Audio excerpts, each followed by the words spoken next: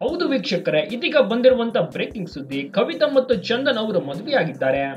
ಇನ್ನು ಮೊನ್ನೆಯಿಂದ ಮನೆಯಲ್ಲಿ ಸಂಭ್ರಮ ಶುರುವಾಗಿತ್ತು. ಮೆಹಂದಿ ಶಾಸ್ತ್ರ, ಚಪ್ಪರ ಶಾಸ್ತ್ರ ಎಲ್ಲವೂ ಕೂಡ ತುಂಬಾ ಸಿಂಪಲ್ ಆಗಿ ನಡೆದಿತ್ತು.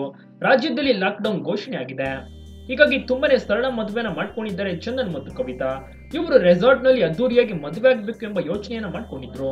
ನಂತರ ಲಾಕ್ಡೌನ್ ಘೋಷಣೆಯಾದ ಬಳಿಕ ಮದುವೆ ಕ್ಯಾನ್ಸಲ್ ಮಾಡ್ಕೋಬೇಕು ಅಂದ್ರು. ಆದ್ರೆ ಫ್ಯಾಮಿಲಿ ಅವರು ಕ್ಯಾನ್ಸಲ್ ಮಾಡೋದು ಬೇಡ.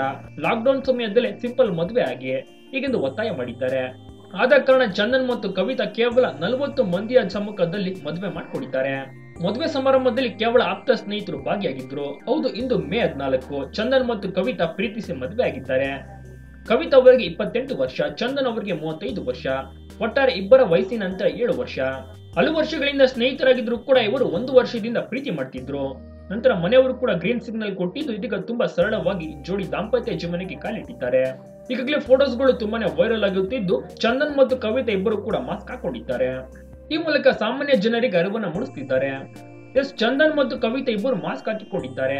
ಚಂದನ್ ಕುಮಾರ್ ಅವರು ಮಾಸ್ಕ್ ಹಾಕಿಕೊಂಡೆ ಕವಿತಾ ಅವರ ಕುತ್ತಿಗೆಗೆ ತಾಳಿ ಕಟ್ಟಿದ್ದಾರೆ.